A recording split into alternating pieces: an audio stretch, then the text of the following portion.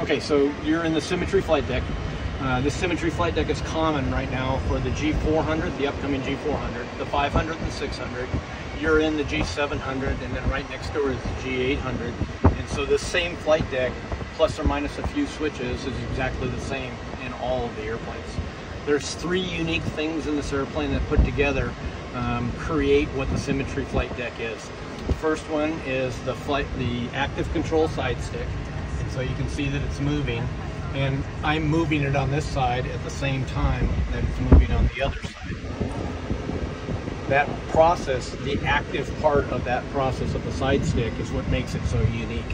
It's not a passive side stick like in some other airplanes, but this allows us to get feedback from the other pilot so the two of us know what we're flying. It also allows the airplane to talk to you so that it tells you if you're out of trim, um, you know, if you're fast, if you're slow, all of those feedbacks will come back through this stick. So the second part of it is the touchscreen controllers. There's three different types of touchscreen controllers. These are called TSCs. Then there's the overhead touchscreens.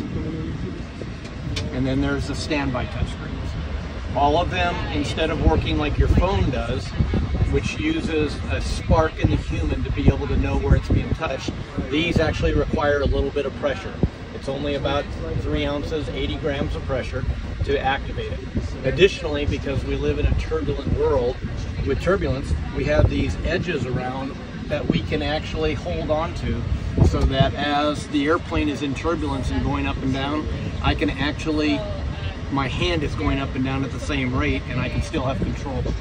I couldn't do that on the standby because there's not enough room. So even though this is a touchscreen, I can also do everything with a push button manual uh, in, in order to control the airplane. So the third function uh, in the airplane is called the DCN, the Data Concentration Network. You can't actually see it. It's a network inside the airplane uh, that basically can, is smart enough to control parts of the airplane. So for example, when I would normally have to turn on a fuel pump, and when I turn the master on here, the, the DCN knows because we've taught it that when I push the master button to start the APU, I want you to turn on the, the left main pump.